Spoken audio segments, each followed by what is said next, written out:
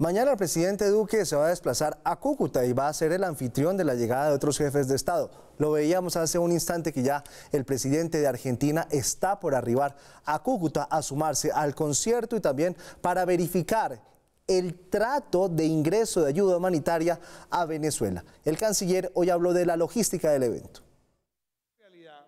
El arribo del presidente será en horas de la mañana y según el canciller Trujillo sostendrá reuniones además en la zona de frontera con algunos mandatarios de la región que se sumarán al gran concierto por la libertad de Venezuela. El presidente de Chile, el presidente de Paraguay, estará con nosotros también el secretario general de la Organización de Estados Americanos y estará el grupo de miembros del Parlamento Europeo que fue rechazado en Venezuela la semana anterior. El presidente visitará las bodegas donde se encuentra la ayuda humanitaria. Y para tener una conversación con el fin de mirar las medidas adicionales que se tomarán durante ese proceso.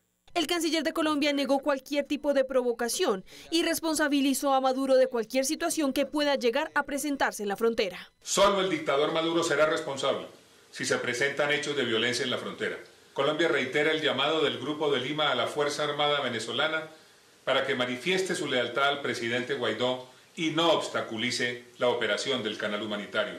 El canciller aclaró que la responsabilidad de Colombia se limita al acopio de las ayudas. La tarea de ingreso a Venezuela corresponde naturalmente al gobierno del presidente Guaidó y los equipos con los cuales él trabaja. El sábado se restringirá el paso por los puentes peatonales a las personas para facilitar el tránsito de la ayuda humanitaria.